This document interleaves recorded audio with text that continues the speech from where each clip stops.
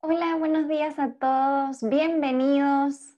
Muchas gracias por acompañarnos el día de hoy en este conversatorio, el primer conversatorio de la Fundación Chilena de Astronomía. Mi nombre es Elise Cervallán, soy astrónoma, doctora en Ciencias Mención Astronomía de la Universidad de Chile y soy directora de la Fundación Chilena de Astronomía. Voy a aprovechar esta oportunidad para contarles un poquitito eh, de la Fundación la Fundación Chilena de Astronomía, que está presidida por el Premio Nacional de Ciencias Exactas Mario Amuy y que está conformado por un grupo de personas de distintas disciplinas que están interesadas en ciencia, tiene como objetivo acercar la ciencia y en particular la astronomía a todas las personas para que llegue a todos los rincones. Y en ese contexto estamos el día de hoy acá con Margarita Caño Yanquinao, a la que agradezco infinitamente por habernos acompañado el día de hoy. Ella es pedagoga, es máster en estudios americanos y es coautora con Gabriel Pozo del libro Mapu, Astronomía y Cosmología Mapuche. Ella nos acompaña el día de hoy como experta en esta área, ya que claramente la cosmología mapuche no es mi área, pero tengo que decir que estuve viendo el libro Mapu estuve empezando a leerlo para prepararme un poco para esta conversación con Margarita el día de hoy y me pareció un libro maravilloso. Margarita, felicitaciones, es un libro muy bello y espero que nos cuentes ahora un poquito de él. Hoy día estamos acá en el contexto de que estamos celebrando el solsticio de invierno, ¿cierto? Que marca el inicio del Año Nuevo Mapuche y además estamos a seis meses del eclipse total de sol que se va a ver en forma total en la región de la Araucanía. Bienvenida, Margarita. Hola, muchas gracias.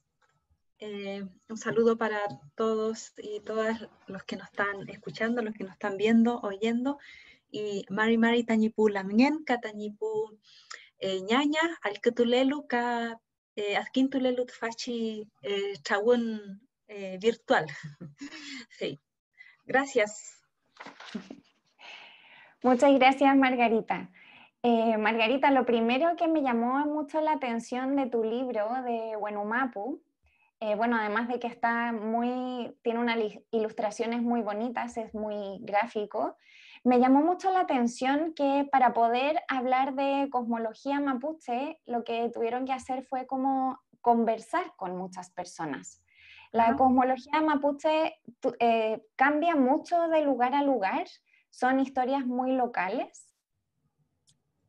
Em, claro, cada pueblo eh, hasta o por miles de años ha observado, eh, ha tenido una relación muy propia con su territorio. Entonces, dentro de este mismo territorio Guaymapo, que le llamamos nosotros acá, eh, desde el punto de vista más reivindicativo, está marcada por ciertos territorios. Entonces, un territorio eh, que es de la zona costera, siempre va a tener un relato muy apropiado y muy cercano a su, a su propio espacio y, características, como también la gente de la cordillera, la zona pehuenche, que también su, su relato va a ser eh, cercano a la, vivencia que ellos tienen eh, con el cielo y con, la, con su entorno ahí con las araucarias. Claro, eso me llamaba la atención que, bueno, para los que no lo conozcan, les recomiendo, busquen en internet el libro porque es de, acceso, de acceso libre, está en internet, lo pueden, lo pueden leer. Eh, en el fondo aparecen textos que son lo que las personas eh, compartieron con Margarita y con Gabriel sobre las temáticas que ellos les estaban preguntando. Entonces está contado en primera persona. Y hay unas partes donde hay personas que cuentan que vieron eclipses también y que cuentan un poco eh, su experiencia. Entonces, como, como, esto trata un poco del, del, Año Nuevo Mapuche y también del eclipse, cuéntanos, que, quiero que tú nos cuentes a nosotros, que eres la que sabes bien, eh, ¿cómo es esta celebración del Año Nuevo? Mire, por, por, mucho tiempo atrás, eh, poniendo un poco el contexto histórico de la situación mapuche y del territorio mapuche acá, por mucho tiempo la celebración eh, del año nuevo o cambio de ciclo en el mundo mapuche estuvo invisibilizado, ¿no? Producto de todo el proceso histórico que hubo de contacto interétnico con eh, y, proceso también que llevó a cabo el mismo Estado chileno y si consideramos también al Puelmapu, del otro lado de los Andes, el Estado argentino. Entonces, todos los saberes eh, mapuche, los conocimientos mapuche estuvieron invisibilizados por mucho tiempo. Eh, y entonces la gente en su cotidianidad, nuestra gente celebró y celebramos también muy en la intimidad en algunos casos. En nuestro territorio, que, estamos, que somos cercanos aquí a Temuco, eh, la celebración es celebración o conmemoración es mucho más íntimo, no es familiar. Entonces, a partir de las reivindicaciones también políticas y de los saberes mapuches, se empezó a masificar las celebraciones eh, comunitarias y también en distintos contextos, también en las ciudades. Entonces, eh, eh, desde ahí se hizo más visible también y se fueron integrando más personas, personas que no eran eh, mapuche, pero que se, se, sienten profundamente identificados ¿no? con, con, con, nosotros, con, con, el mundo mapuche. Entonces, a partir de ahí, la, la, la, celebración o la conmemoración eh, de este nuevo ciclo que se acerca y que ya está en curso ya, se, empezó a visibilizar, ¿no? se empezó a, dar, a darle más importancia. Entonces, ¿qué es lo que se conmemora en esta fecha?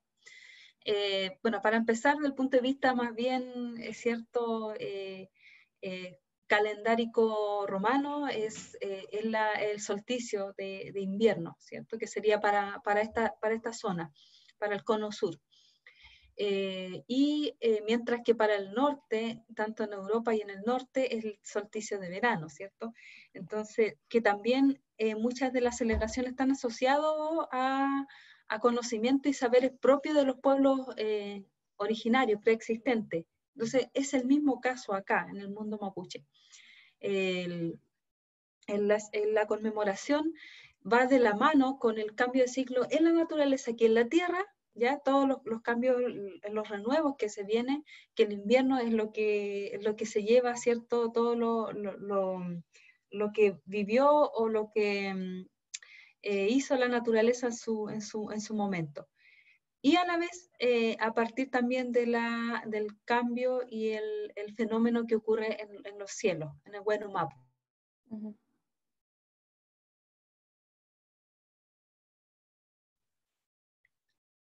La observación, la observación eh, del cielo fue una de las también de, la, de los procesos y de construcción de conocimiento más importantes en el mundo mapuche.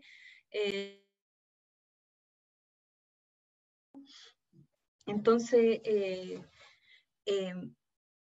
eso, es, eso se había, se había también olvidado. Mucho, muchas de las personas tanto mapuche, también producto del proceso de escolarización y también de, la historia, ¿no?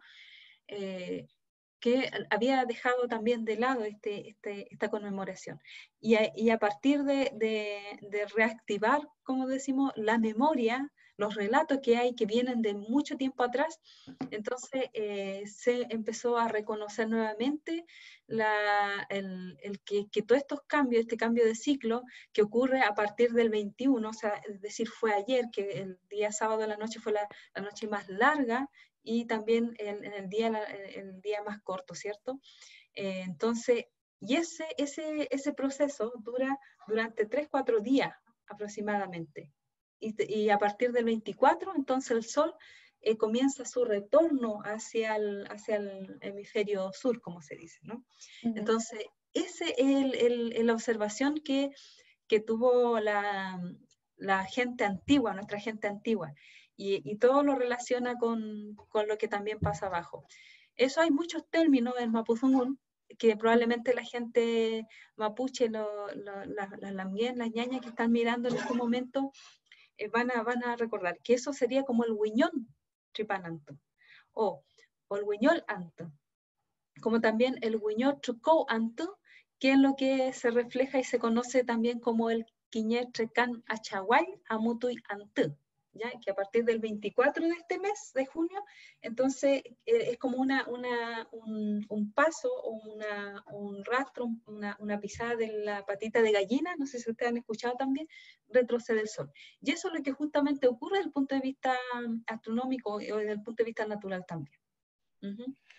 Sí, claro, para los que no sepan, el solsticio efectivamente es es cuando marcamos el inicio de las estaciones y es el momento donde si la Tierra es redonda y tiene un eje de inclinación, el día en el solsticio es el, día donde menor horas de luz hay, también menor área del hemisferio sur recibe luz y de hecho el polo sur no recibe nada de luz.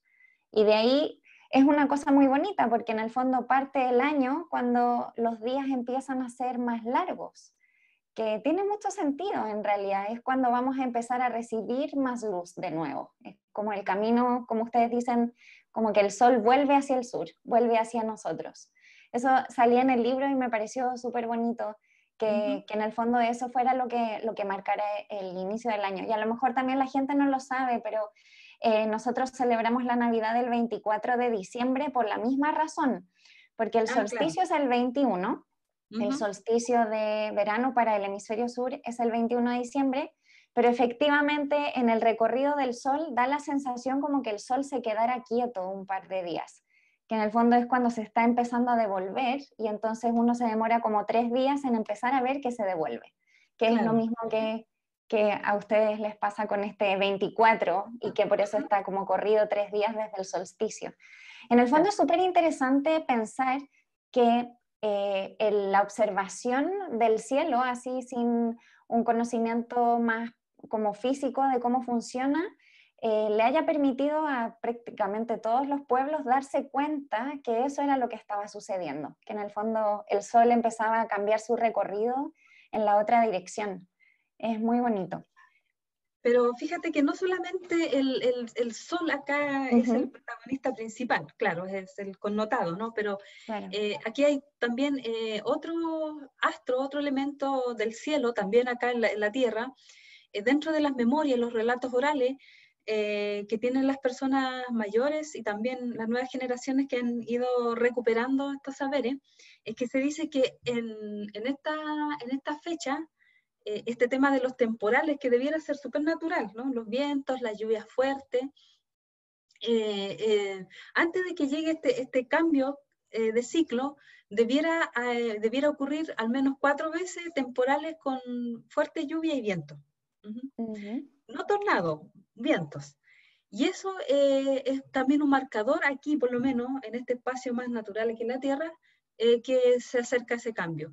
Y, desde el punto de vista más astronómico y cosmológico también, eh, eh, tiene que ver con, con, algunas estrellas y constelaciones que acompañan también este nuevo ciclo.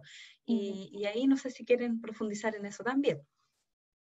Yo a lo que quiero que nos vayamos ahora es a la luna, porque siento que en el fondo vamos a hablar del eclipse, donde los dos grandes roles son el sol y la luna, y por lo que estuve leyendo en, tu libro, la luna también es súper importante. y, y, me llamó la atención que tuviera, por ejemplo, tantos nombres dependiendo en qué etapa estuviera como, es súper específico, lo que quiere decir que es muy importante, si no, no tendría tantos nombres, no le habrían puesto tantos nombres a las etapas específicas. Y una etapa me llamó muchísimo la atención, que era cuando el Sol y la Luna estaban enfrentados. Y uno tenía al Sol poniéndose en el mar y en ese mismo momento tenía la Luna como saliendo por el otro lado que es como un antieclipse, en el fondo es como cuando están justo mirándose el uno al otro. Eh, sí, mira, e, ese, ese fenómeno ocurre todos los meses en que la luna está llena eh, y apareciendo por el, por el este. Eh, entonces, dependiendo ahí su, su luminosidad o, o, característica, entonces también un poco anuncia dentro de los relatos orales que tiene la gente, dice que anuncia cómo se viene el clima y dependiendo también la época, si es eh, verano, invierno, o otoño o primavera. Entonces, eh, eso es cuando se mira toda la, dentro de los relatos más como, cosmogónicos, ¿no? Se dice que, o cosmológico también, eh, se dice que el, la luna con el sol siempre tienen que mirarse, siempre tienen que encontrarse. Eh, y porque ahí también eh, van a definir cómo se viene el, el clima. ¿no? Entonces, eh, y dependiendo también cómo venga el sol, o sea, perdón, cómo está entrando el sol y cómo, está, cómo viene la luna, si viene con más energía, menos energía, entonces se va, va a ver reflejado en ese, en, esa, en ese fenómeno que ocurre ahí, que ocurre todos los meses, un día, dos días antes que la luna esté eh, al 100% lleno o llena, lleno y llena, tiene dos, dos características ahí. Sí, y Margarita, em, respecto al eclipse que se nos viene, ¿cuál es la percepción local de un evento como un eclipse? Yo te voy a dar mi experiencia de ver el eclipse del año pasado. Yo no había visto nunca un eclipse total y estando ahí, eh, yo lo vi en Totoralillo, eh, como que sentí algo en el fondo de mí que me inquietó profundamente. Eh, a pesar de que yo entendía perfectamente lo que estaba sucediendo, tenía mucho, como mucha inquietud, era como una especie como de instinto de no saber qué es lo que va a pasar. Entonces yo me pregunto, ¿eso es algo que em, tú sientes que a las personas eh, les va a suceder algo parecido? La, historia oral previa de otras experiencias habla de eso. ¿Es percibido como algo como buen augurio o no? ¿Cómo, cómo, cuál es la percepción local? Mira, la, la, percepción siempre eh, tiende a ser un poco menos eh, em, positivos, ¿no? Porque la experiencia que por lo menos han vivido las personas mayores que han, que han, que han experimentado eclipses lunares y solares, por lo general siempre eh, se viene algo que no le, no les favorece a ellos. Entonces, eh, tanto en el ámbito natural como también en el ámbito social. Eh, aunque, aunque sí, siempre, siempre está la esperanza de que muchos eclipses, o en este caso eclipses que, que van más seguidos una de otra, solares en este caso y lunares, de eclipse total, ¿no? Eh, siempre se tiene la esperanza de que estos cambios, que pueden ser en una primera parte muy fuerte, muy dolorosa, muy, muy complicada, pero en una segunda oportunidad eh, se espera que sea bueno, ¿no? Se espera que sea bueno. Entonces, de ahí la importancia de esperar a que ocurra el fenómeno. Por un lado, esperar a que ocurra ese fenómeno, pero también de observar la naturaleza. Por lo menos el año pasado, ese eclipse que, que hubo, eh, y eso que fue en el norte, aquí por lo menos la gente no, no, lo asoció directamente enseguida, pero sí ahora dentro de las conversaciones, por lo menos con mi gente ahí que me estaba conversando, eh, lo que vino después es el florecimiento del colihue. No sé si ustedes alcanzaron a escuchar eso, que cuando se florece se tiende a secar y luego se seca, se seca a tal punto el colihue esa especie de bambú para que los que no, conocen y que hay una abundancia por acá, o había una abundancia, entonces ahora están secos. Eh, y luego se eh, comienza a florecer y eso genera plagas eh, de, de, ratones, ¿ya? Una cosa importante, mm. cómo se va relacionando. Entonces, pasó eso, ¿ya? y fue masivo, en todas partes, en los lugares más húmedos ocurrió. Entonces, probablemente tenga relación ahí, porque tenemos que también pensar, si uno eh, se pone a pensar eh, ya más allá de, lo, de, lo que, de la explicación que se da al punto de vista astronómico o más allá de los relatos, es que claro, si uno ve al Sol y a la Luna iluminando en su 100% y que genera energía hacia la Tierra, son dos minutos aproximadamente que la Tierra deja de tener la energía directa y, y potente del Sol, ¿no? Entonces, seguramente hay repercusiones, en lo que yo pudiera reflexionar en este momento, ¿no? Entonces, en ese sentido, sí, pues la gente se preguntará y se pregunta ¿qué es lo que va a pasar? ¿Por, porque, porque son fenómenos que no están estudiados como lo hace la astronomía, ¿no? De, eh, registrados, si volvemos 100 años atrás, 200 años atrás, eh, está todo eso registrado, ¿cierto? Hay estudios. Pero en el caso de, de la, de la, del conocimiento mapuche se vale de, lo, de los saberes, de lo que se ha transmitido por miles de años, de la observación sistemática, a simple vista.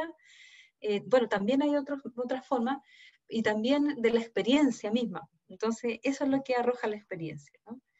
Y entonces, eh, por ahora, con el eclipse que se acerca, no podríamos dar una, eh, como un resultado previo o una hipótesis, porque no sabemos todavía cómo va a venir ese, ese próximo eclipse solar y que va a ser aquí en el corazón del Mapa todo esto. Solo esperamos que se tome con respeto eh, ese, ese fenómeno. Sí, bueno, eso es muy importante. Nosotros todos tenemos ganas de ir, pero efectivamente eh, vamos como a, vamos de visita, así que hay que comportarse como tal. Hay que respetar eh, también eh, las costumbres locales y no invadir a la gente en, su, en su día a día.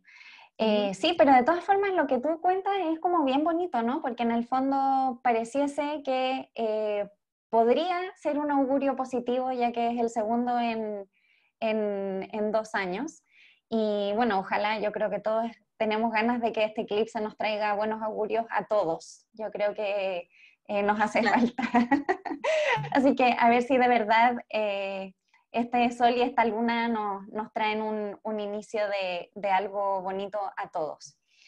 Em, también te quería eh, preguntar específicamente em, cómo los niños em, viven esta, como, o sea, me imagino las comunidades saben que viene el eclipse, que quedan seis meses.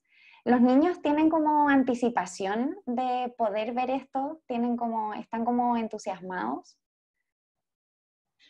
Mira, la verdad es que como yo no vivo con niños, entonces no, no podría decir, dar una respuesta certera, porque además eh, estos temas eh, en el ámbito escolar no se abordan, no, se han abordado como, como, corresponde, a mi parecer. Eh, y también creo que me siento un poco responsable, porque yo vengo del área de la pedagogía, aunque no trabajo con niños, pero sí es un tema pendiente, ¿ya? Y a nivel familiar, la gente se vale ahora también de lo que dicen por la televisión, ¿no? de lo que escuchan en las redes sociales pero claro, tampoco se pueden hacer una idea de lo que significa, porque yo creo que muchos niños no, no todavía no, no, tienen una noción amplia de lo que significa un, eclipse, solo de los relatos que dicen los, abuelos, en el caso de los niños que viven con sus abuelos, ¿cierto? Y que ahora también están más, eh, más eh, con la familia. Eh, yo creo que hay, hay, por el momento, no hay una gran expectación hasta que el momento que se acerque más. Sí. Entonces, yo creo que hay, hay una, una, una, cosa de, de, de, dejarlo ahí que está, no, no, no, hay una preocupación todavía, digamos, porque en este momento nuestra preocupación y la preocupación también de los niños es qué pasa, que quieren volver al colegio también en algunos casos. Entonces... volver a eh, la rutina. Y otros que no quieren volver simplemente. sí, siempre, siempre hay.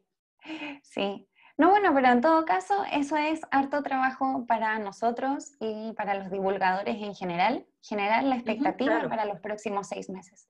Sí, siento que este año la llegada del eclipse es un poco diferente a la del año pasado, porque el año pasado sencillamente desde el principio de año se dio con todo porque venía el eclipse y ahora, claro, la pandemia nos tiene un poco como congelados para poder generar expectativa, porque tenemos que ver un poco cómo se van dando las cosas. Pero la suerte es que ustedes lo van a ver sí o sí. Aunque nosotros no podamos ir, ustedes eh, lo van a poder ver sí o sí y vamos a cruzar todos los dedos para que lo podamos disfrutar eh, todos. Em, y ahora, respecto a lo que mencionabas antes, como las constelaciones, ¿cuáles, ¿cuáles son las constelaciones que son más importantes para ustedes o que son más significativas? Mm, bueno, ahí va a depender de, cada territorio también. ¿Te que hablamos de eso al principio también?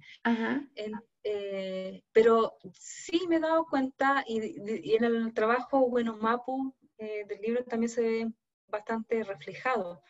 Eh, hay dos de las constelaciones y más una estrella que alumbra muy fuerte, que para, o sea, que en realidad es un planeta, pero para nosotros tiene un nombre específico también, que es el Guiñalfe o Lucero del Amanecer, o el planeta Venus, en este caso.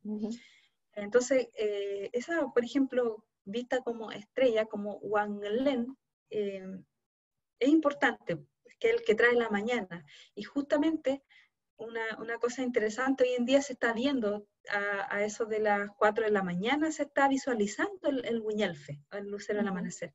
Eso también es importante, hacer esa observación, porque al momento que aparece eh, eh, una estrella tan grande que ilumina, que ilumina los, el camino de los viajeros, como dice en el sentido literal, como también en el sentido más abstracto, eh, puede ser que tenga algún, alguna algún relato o alguna predicción positiva, ¿no? Eso es lo que esperamos. Y luego también la otra, hay muchas constelaciones, pero la, que en, este, en, este, en esta fecha cobran relevancia. Está eh, la Huelu que es la, mm, la, constelación del cinturón de Orión, más las tres estrellas que se llaman las tres chepas, que es la que, la, que hacen este, esta idea del Huelu que es que se tiran de sentido contrario, ¿cierto? Entonces eso también se deja aparecer en esta fecha y muy, prácticamente muy cercano a la Tierra, podríamos decir, se ve en el cielo. Y luego, eh, la otra también, que es una, de las constelaciones también muy hermosa, que es la, de, la del Ngaupoñe, que ese es el, en las Pléyades, ¿ya? el grupito de estrellas que, o papas amontonadas o las siete cabrillas también le llaman el nombre más común. Y, esas son las que se dejan aparecer en esta fecha y es lo que también cambia eh, o anuncia el cambio de, ciclo. Mm. Y, pero además este año va a coincidir también con la luna nueva. Entonces, eh, estamos como, tenemos como todos los astros, digamos, a nuestro favor, lo, lo, lo, más significativo, lo más connotado y lo que se puede ver a, simple vista. Y así también las otras constelaciones que, que, que obviamente cobran relevancia, por ejemplo, eh, en el caso de, la otra estrella que se llama Yepun, que es el que lleva la noche. Yepun eh, sería eh, Marte, si no me equivoco, el planeta Marte. Y también se, ve visible a simple vista. Y hoy en día también este, en esta época se deja ver. Y esas son las estrellas que finalmente es la que marcan y la que cuando llega el día 24, en la madrugada, en el caso de las personas que son, eh, que tienen rol más eh, espirituales, eh, lo, lo, convocan, ¿no? Hacen rogativa y eso en ese día. Y así hay otras constelaciones, por ejemplo, la cola del escorpión que hace el, el, guanaco o el luan. la Cruz del Sur también, que son muy marcadores de, espacio territorial en el cielo, ¿cierto? la Cruz del Sur, que es el Pononchoique, y con las dos estrellas que, eh, alfa y beta, ¿cierto? Así que eh, esas son como las constelaciones, entre otras, que después podemos profundizar si aparecen también en las preguntas, en las consultas, y eh, que son connotados en esta fecha. Sí, bueno, aprovechando esa invitación que tú hiciste, yo los quiero invitar a hacer preguntas en el chat. hagan preguntas para que las vayamos contestando en unos minutitos más. ahí nos las van a hacer llegar, así que no se preocupen con eso. Sí, lo de las constelaciones y los planetas es súper interesante porque, claro, a simple vista, solo de observar el cielo em, no es tan simple llegar a la conclusión de que un planeta es un planeta y una estrella es una estrella y que son diferentes y que tienen un comportamiento distinto. Entonces, claro, se da mucho esto de que son astros nomás y, y la consideración de diferenciarlos es como mucho más compleja y y claro, y también se, da em, cuando ya se empezaron a desarrollar como más estudios más como prolongados. Yo te quería preguntar, tú has dicho que em, mucho como se transmite esta información como mucho de la experiencia de tus ancestros o de tus abuelos y de tus bisabuelos y cosas así. Y, pero tú en un momento dijiste, no es la única forma dijiste también hay otras formas de observar el cielo, no solo a través de la observación reiterada y eh, de la experiencia de los antepasados, pero hay otras formas también. ¿A qué te referías con esas otras formas? No sé si yo quizá te entendí mal. Sí, otras formas. En el, libro, por lo menos, aparecen eh, relatadas al menos dos formas, que es eh, a través de los relatos, ya más bien como gónico o como lógico también, que, que hay una historia, un relato detrás de alguna constelación. En el caso del lucero del amanecer, quienes han podido revisar el libro, ahí hay un relato sobre el, lucero representando a una, al, hombre, al varón, ¿no? que viene a buscar a una niña y se genera una relación ahí de, matrimonio. ¿ya? Entonces, a partir de eso es que eh, nacen las estrellas, a partir de, que eh, en esa relación la mujer tiene y hay una, una, estrella. Entonces, esa es una forma de transmitir el conocimiento también sobre la, la estrella y las constelaciones.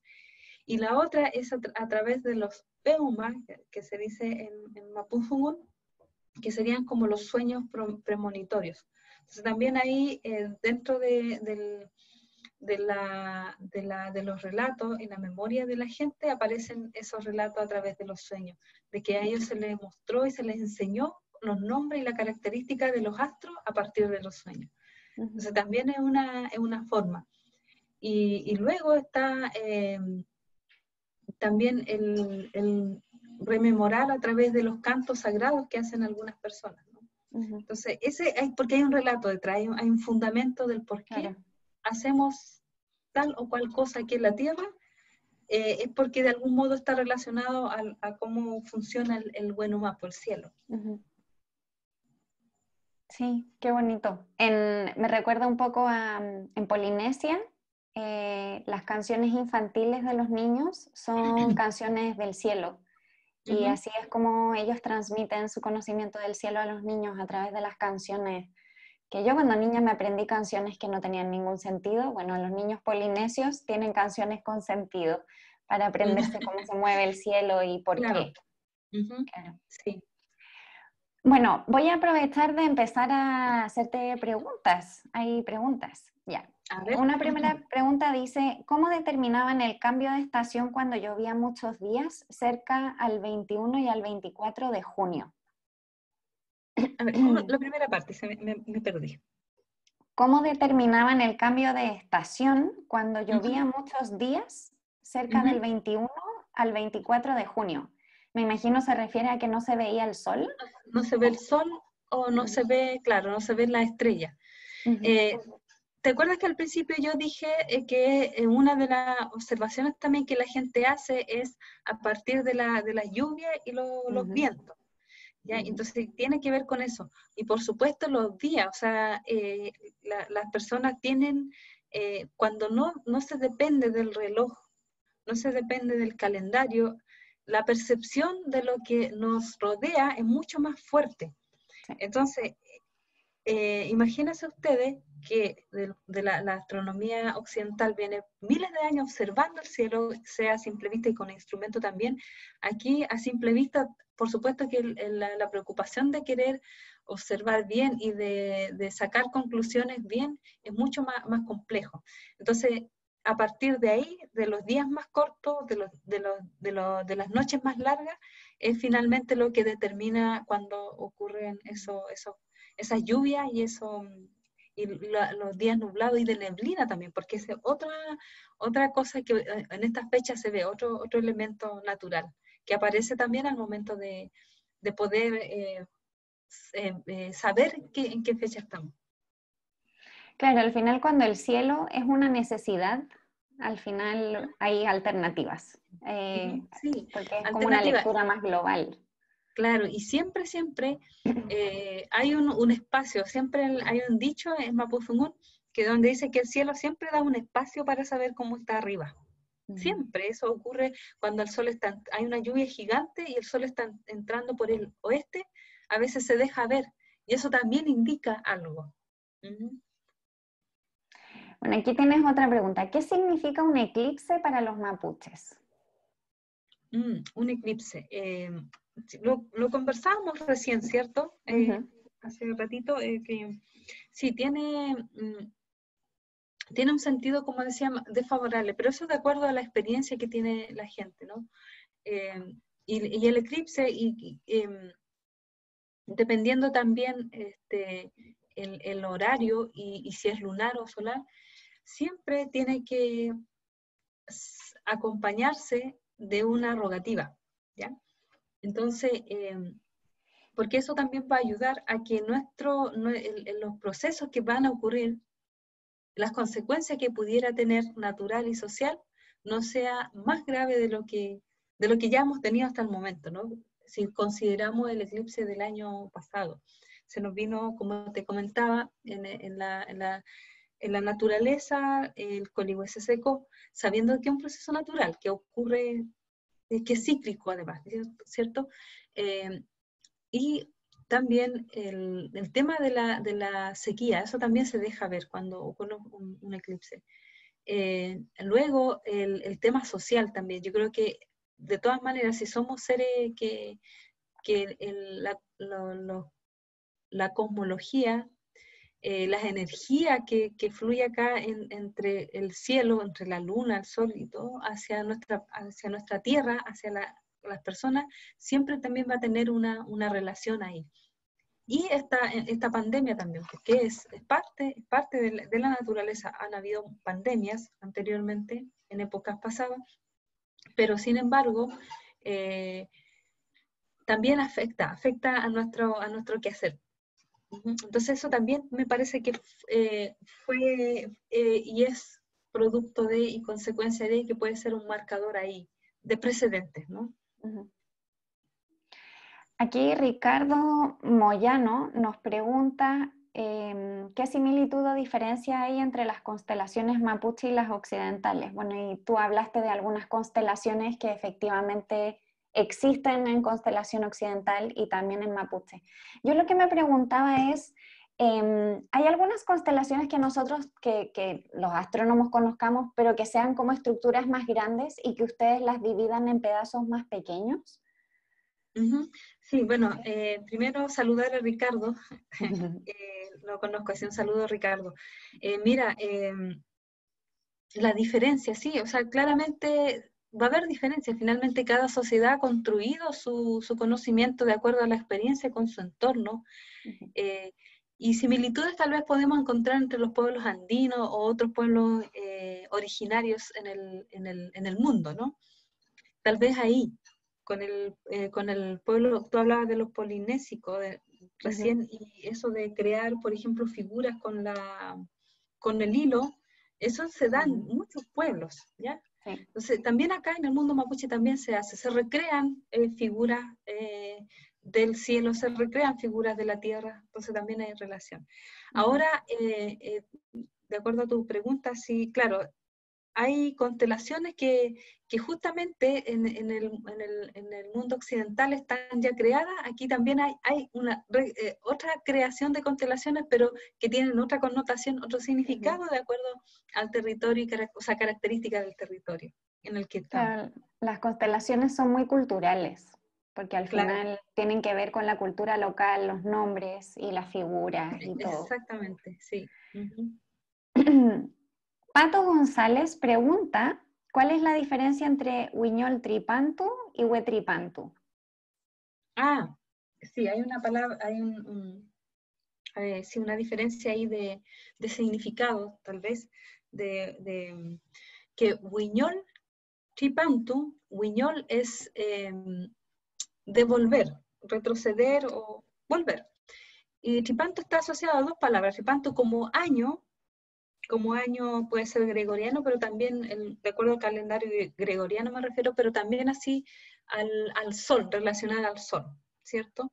Y entonces, esa es la diferencia. En cambio, Huestripanto eh, es una palabra que se reivindicó eh, del punto de vista más político, podríamos decir, pero también un poco para responder a esta idea de, de del año nuevo, como la idea del año nuevo eh, winca, como decimos nosotros en el buen sentido de la palabra, el año nuevo de, este calendario ya gregoriano. Entonces, eh, esa es la diferencia. We, que es como nuevo, y tripantu, año. Está más asociado a eso, a año, de estos de los 365 días o más de, de, eso. Y claro, Buñol Tripanto es eso, como volver, volver. Es, de eso cíclico de, que, de lo que hablábamos es, tiene relación con eso. Claro, al final el sol está haciendo su 8 todo el rato y está todo el rato volviendo a empezar de nuevo. Claro. Alejandra Espinosa nos pregunta, bueno, te pregunta en realidad, ¿cuál es el significado del, del planeta Mate en la cosmología mapuche?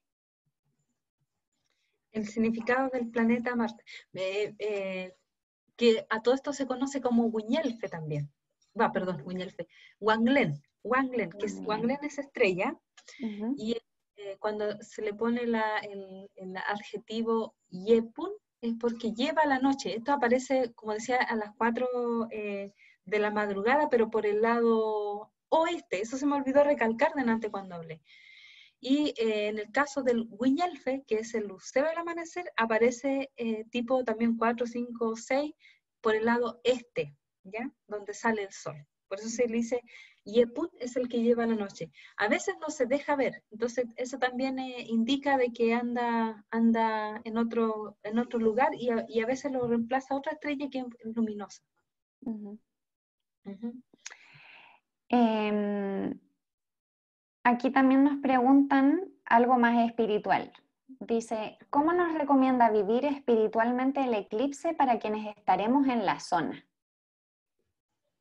Mm, hay, eh, yo creo que las manifestaciones estas son de todo un poco, ¿no? Eh, o sea, por un lado espiritual, por un lado tiene el sentido social, como también político, ¿no? O sea, eh, si juntamos todo eso, por un lado, el, socializar esto en el sentido de, del respeto, siempre el respeto y, que, deben tener personas mapuche y no mapuche frente a este fenómeno.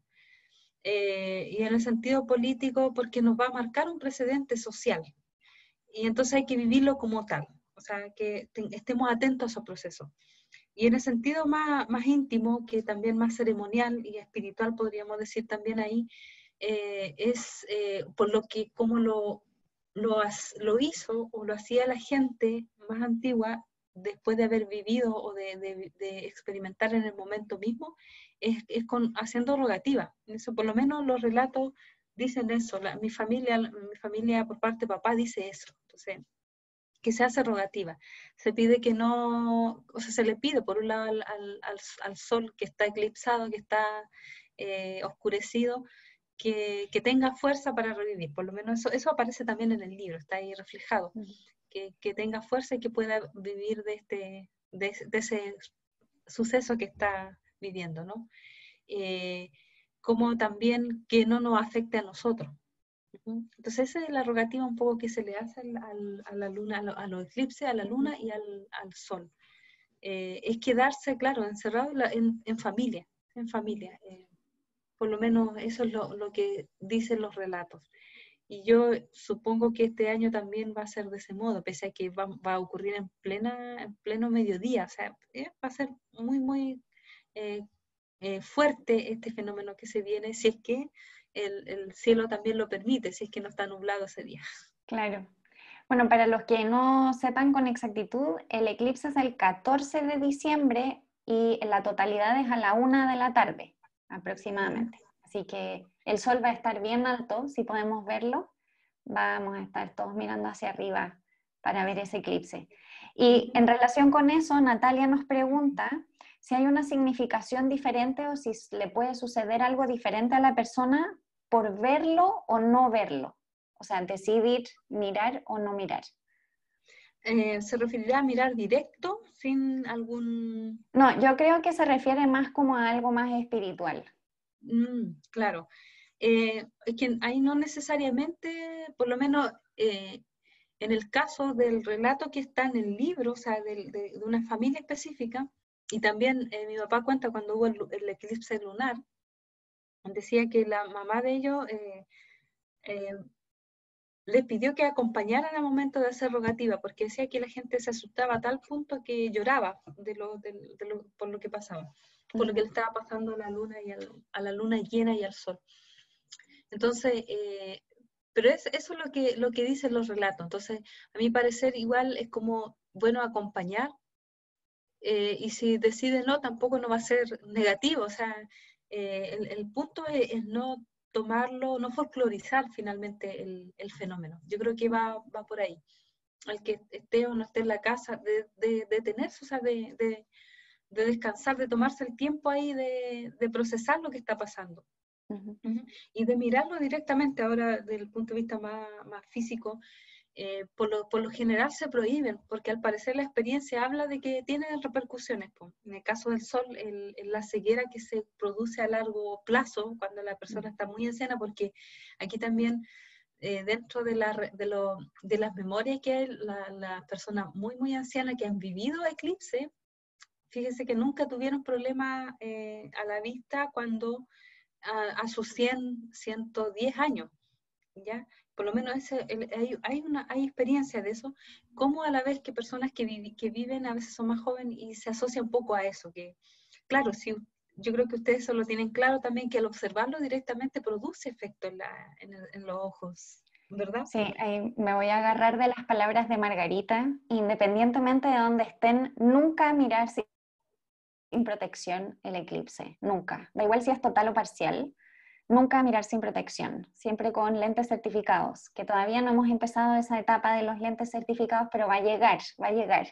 Es muy importante protegerse la vista justamente porque puede tener repercusiones eh, con pérdida de visión, así que hay que tener mucho, mucho cuidado. Sí, y una cosa respecto al eclipse lunar. Eh, me contaba mi papá hace unos días atrás, nomás que estábamos conversando el tema, entonces me decía de que eh, ese eclipse lunar que él vivió, y solar también que no lo pudieron ver porque estaba nublado ese día, pero sí estaban relativamente conscientes de que estaba pasando, por ahí por los años 58. Entonces me decía que en el, en, el lunar la mamá de ellos, eh, la final madre de ellos, se asustó tanto que, claro, decía que lloró y ahí hizo una rogativa y también les pidió que se portaran bien, y, pero que también pidió a, eh, a los que no se tocaran ninguna parte hasta que pasara del todo ese eclipse, o sea que no, me acabo de acordar de eso, que no se tocaran porque, y, y en especial las mujeres embarazadas. Y eso yo creo que es mm. un, es, un, es un, conocimiento popular también, o sea, no solamente lo, lo, lo dice el mundo, eh, el mundo mapuche y otros pueblos originarios también que hay acá y en otras partes del Guaymapu, sino eh, el mundo campesino también tiene muy, muy eh, presente esa, esa recomendación. Sí, también en México hay una historia con las mujeres embarazadas y los eclipses. Es algo como transversal.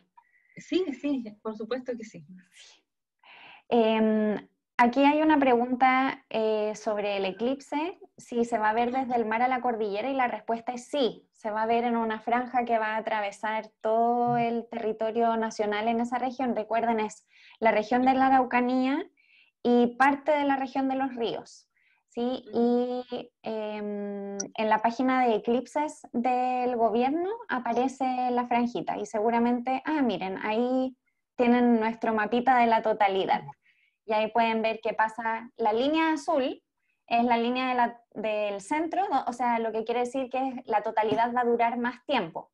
Toda la franja que está en gris va a haber totalidad, pero cuanto más cerca de los bordes de la franja estén, menos tiempo va a estar el sol tapado por completo. Y los puntitos rojos son los sitios eh, recomendados para que vayan a ver el eclipse. Ahí está Teodoro Schmidt, Gorbea. ¿Por qué? Porque están justo en la línea donde más tiempo va a estar tapado el sol. Así que ahí va a llegar desde Temuco hacia Panguipulli, la franja. Mm. Así que sí, cualquier lugar de esos que estén, si está despejado, van a poder ver el eclipse con lentes, certificados, sobre todo, solo se los pueden sacar en el momento de la totalidad. Y se van a dar cuenta porque cuando uno está viéndolo y se cubre totalmente, con los lentes puestos ya no se ve nada. Así que en ese momento se los pueden sacar. Luego se los tienen que volver a poner. Oye, Margarita, tienes muchas preguntas. A ver, más. Em, Sí, alguien pregunta si hay una interpretación en particular para las nubes de Magallanes. Ah, para las nubes de Magallanes. Muy, muy bonitas imágenes en el cielo eh, cuando está despejado. Eh, las nubes de Magallanes, eh, aparte de, o sea, sí hay, por, por lo menos en las interpretaciones que nosotros le estamos dando ahora, más bien, más, lo que estamos metidos, Gabriel también ahí, que es el, autor también del libro, Bueno Mapu, de que e, esos relatos que hay en torno a la, acumulación de, estrellas en la nube de Magallanes y que en la nube de Magallanes eh, eh, está muy cerca del... Era la nube de Magallanes, ¿cierto? Sí. Está muy cerca de la Vía Láctea, ¿cierto? Sí. Entonces, eh, y, y, eso, al parecer, y de acuerdo también a los relatos que hay, em, cuando se ve muy visible es porque viene harta lluvia. Entonces, la nube de Magallanes se le dice eh, em, eh, pozoco, le dice la gente, por los pozos de agua, ¿ya? Mm. O renganco, rengan, como escarbado. Entonces, eso según la luminosidad, si está opaco y si está muy, muy negro, porque también trae mucha agua, ¿cierto? Y, por eso eh, la gente ahí, a, nuestro parecer, se está relacionada también con el, con el río, ¿ya? Porque a mayor eh, notoriedad que tiene la, la Vía Láctea, también va a depender la brillosidad del, de las nubes de Magallanes. Y, también con su, con, con su relato ahí eh, ¿cómo se llama? Eh, relato sentimental, como le llamamos, que está asociado a que por lo general las personas que, que, se, que antiguamente se instalaban en un espacio siempre quedaba cerca de los ríos. Entonces también es su, es su relación ahí, de que es como, es como la, la ubicación perfecta que tiene la nube de Magallanes al lado del río. Las nubes de Magallanes eh, son unas galaxias irregulares que están orbitando nuestra galaxia, la Vía Láctea, pero claro, desde acá no te da esa sensación, parecen unas, como unas manchitas en el cielo, pero son galaxias, se pueden ver a simple vista, así que aprovechen de verlas cuando esté despejado. Impresionante ver que podemos ver otras galaxias. Otras galaxias. ¿Y qué relación tiene con el agua ahí, desde el punto de vista astronómico? Me surge a mí la duda ahora, si aprovechando que estamos haciendo con el agua. ¿Sí?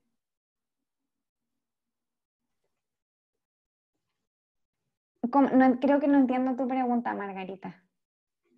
Sí, hay, ya, porque se dice de que hay ciertos cúmulos de, mm, hay nubes en, el, en, el, en la galaxia, ¿cierto? Que tienen em, compuestos de algo. Ah, Sí, lo que pasa es que lo, que lo que dice Margarita, claro, ella se está refiriendo a la molécula del agua. Yo estaba pensando como en el agua, como no sé. Eh, sí, bueno, algo que tenemos que siempre tener en cuenta, ¿no? Es que todos los elementos químicos de nuestro cuerpo, todo, todo, se producen en, en las estrellas o al principio, principio del universo, o cuando las estrellas mueren, o durante su vida, ¿sí? Todo tiene que ver mucho con las estrellas. Y entonces, por ejemplo, las nubes de Magallanes eh, son galaxias que fabrican muchas, muchas, muchas estrellas y tienen muchas, muchas estrellas grandes.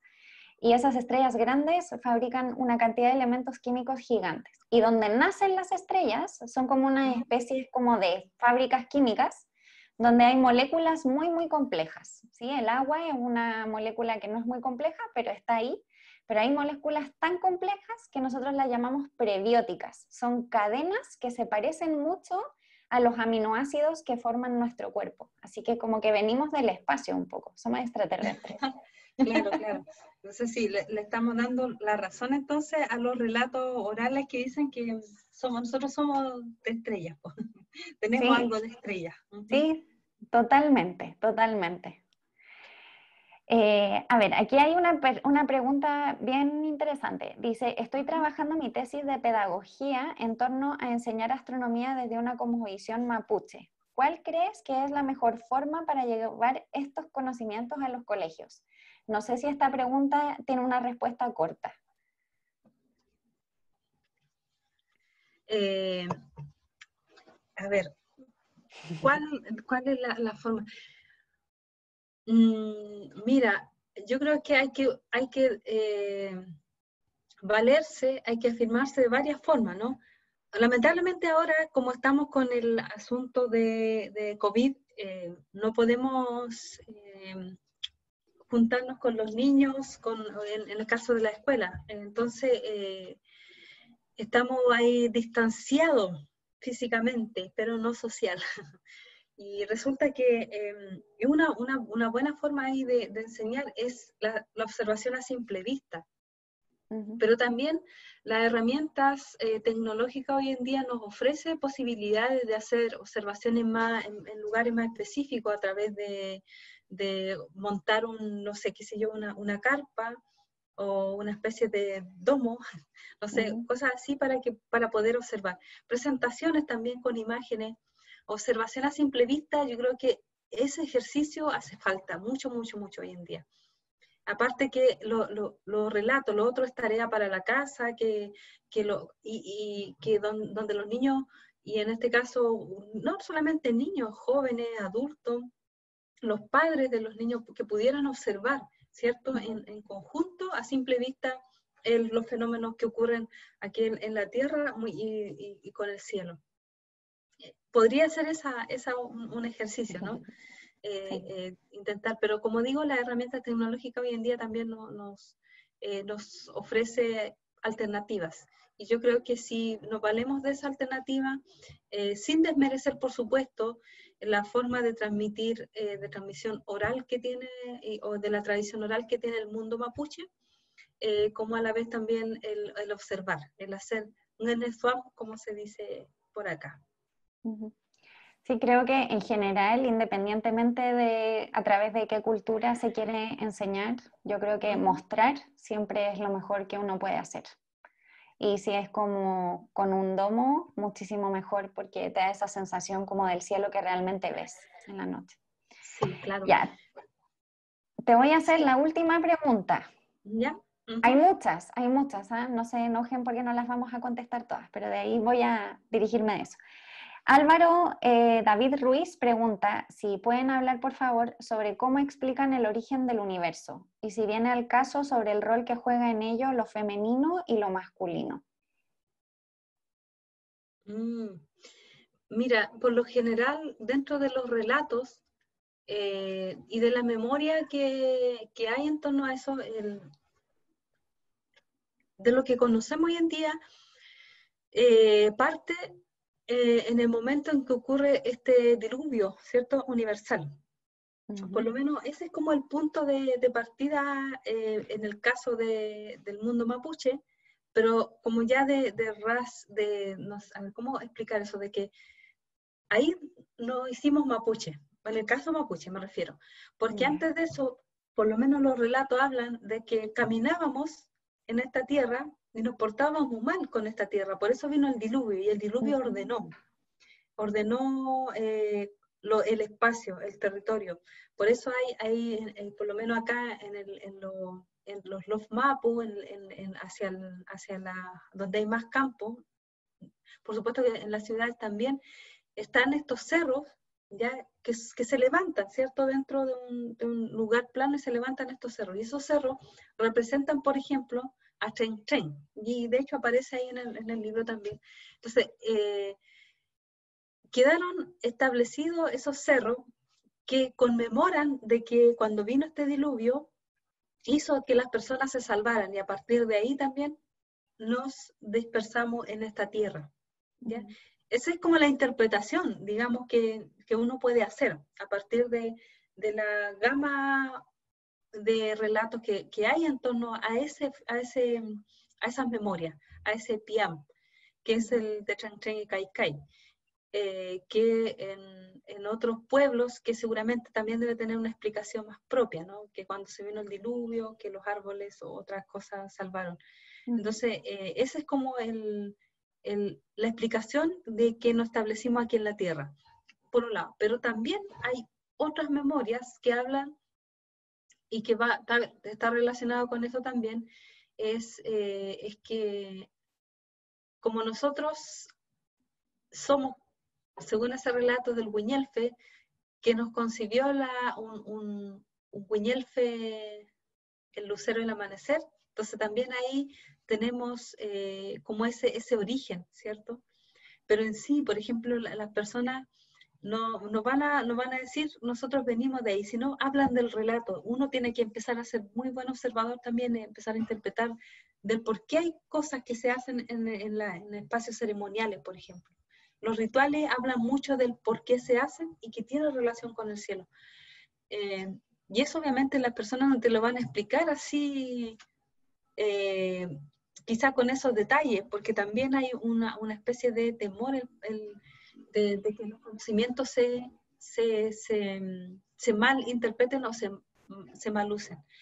y, eh, em, y también porque de acuerdo al, proceso histórico que vivimos acá en, el mundo mapuche también está la percepción cristiana, eh, se caló también ese, ese, pensamiento cristiano, entonces también ahí eh, hizo en, algunas personas eh, perder la esencialidad de estos relatos que hablan de dónde venimos, de dónde somos los mapuches. Pero sí, por lo menos, si uno empieza a, hacer relación con lo, con lo que recoge el libro Bueno Mapu, como también con la evidencia que nosotros vamos teniendo, independiente de, de, las complejidades, de los problemas que han surgido en las comunidades, producto también de la instalación de la, de la, misma escuela también ha hecho como un poco desfavorecer estos saberes, como también el cristianismo. Entonces, tenemos esa, esa disputa ahí muchas veces eh, con respecto a, a, profundizar mucho más en torno a de dónde venimos. Pero ahí tenemos una base ya que nosotros, yo creo que responsabilidad nos queda ahora de poder profundizar más en esos temas. Claro, y recuperar todo lo que se pueda para que se pueda mantener. Bueno, ahora Margarita te quería pedir si nos puedes recomendar alguna otra bibliografía que a ti te guste, además de Wenumapu, por supuesto, súper recomendado. Wenumapu, el apellido del libro es Astronomía y Cosmología Mapuche, acuérdense de Margarita Caño y de eh, Gabriel Pozo. ¿Hay algún otro libro que nos recomiendes? Mm, respecto a, astronomía y cosmología, claro, hay más bien trabajo de artículos que se pueden ver y también trabajo materiales que, que están por internet. Eh, por ejemplo, nociones de tiempo y espacio, eh, es una especie de diccionario ahí que, que se hizo acá hace tiempo atrás, que también aborda eh, tema em, cosmológico y astronómico como una primera base. Luego hay un libro que se llama eh, Mapun Kimon, que de los autores Becerra, eh, Gabriel Yanquinao y hay otro autor más que no me acuerdo, que se llama Mapun Kimon, que también aborda una parte eh, ahí sobre astronomía y cosmología. Yo creo que a partir de ahí podríamos este, tener una base, digamos, de relatos que donde se recogen relatos sobre temas mapuche y, que va muy relacionado con la astronomía, porque finalmente yo creo que nosotros aquí eh, hablamos solo de astronomía, pero todo esto está relacionado con otros temas también. Claro. Bueno, quedaron un montón de preguntas sin contestar, muchas, pero eh, se nos termina el tiempo, así que eh, vamos a repetir esta instancia más adelante. Esperamos que Margarita esté dispuesta a acompañarnos más adelante cuando ya estemos más cerca del eclipse. Podemos seguir contestando estas preguntas. Hay mucho, mucho interés. Así que yo invito a Margarita a que luego pueda acompañarnos más adelante en una segunda instancia y ahí estaremos avisándoles y para eso por favor síganos en redes sociales de la Fundación. Eh, en Instagram somos La Fuchas, en Twitter Fuchas barra baja y en Facebook y LinkedIn Fundación Chilena de Astronomía y siempre, siempre nos pueden visitar en nuestra página web que es www.fuchas.cl. Esperamos que hayan disfrutado mucho de esta oportunidad. Yo he aprendido un montón de Margarita. Voy a seguir leyendo el libro porque me parece muy, muy bonito y como ella dice, los relatos de las personas son súper interesantes. Me encanta ver cómo la gente comparte sus vivencias. Así que esperamos tenerlos por acá pronto en otra oportunidad. Muchísimas gracias Margarita por acompañarnos el día de hoy. Sí, eh, bueno, gracias a ustedes también por la invitación y por, por, tener la apertura de dialogar estos temas, de conversarlo y de darle un, un, espacio, de posicionarlo también en el mundo de la astronomía occidental, porque también tenemos a veces ahí diferencias, producto de que venimos de las ciencias sociales y estos saberes a veces no se consideran como algo que pueda colaborar, aportar y ayudar a las personas que ya que no, no, no tienen eh, otras bases astronómicas, ¿cierto? Entonces, agradecerle por eso, porque ustedes se interesaron en compartir estos saberes. También eh, mandarle saludo a toda la gente mapuche y no mapuche que está en estos momentos viviendo este proceso, este momento complejo, ¿cierto? Eh, a los familiares que han fallecido, sus familiares también producto de, de la pandemia, los que han sido desfavorecidos eh, eh, y han sido abandonados también a veces por el sistema, mandarle harta fuerza, harto saludo, eh, y que a la gente mapuche también que puedan, ojalá, tener un, buen cambio de ciclo, un buen comienzo de ciclo. Y, bueno, también agradecer, agradecerle, eh, bueno, aparte de ustedes, aquí también el espacio a mi amiga Paula Vilquinao, que seguramente me está escuchando en otro cuarto, porque eh, ha sido difícil también a, ah, eh, tener que conversar de este modo. Así que eso, y, frente a un matecito le, me despido de ustedes y de todas las personas que escucharon y vieron este, este conversatorio. Gracias Margarita por la disposición de acompañarnos el día de hoy. Estos temas son muy interesantes, yo soy no sé nada, así que te agradezco mucho que hayas compartido tu conocimiento con todos nosotros y como decía Margarita, cuídense todos mucho, que estén muy bien y ojalá que este sea un nuevo inicio de ciclo bueno para todos. Muchas gracias por la atención, que estén muy bien.